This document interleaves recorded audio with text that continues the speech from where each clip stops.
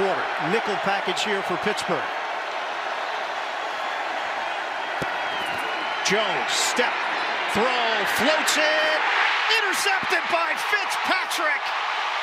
Minkah had the big return last week. He was AFC Defensive Player of the Week.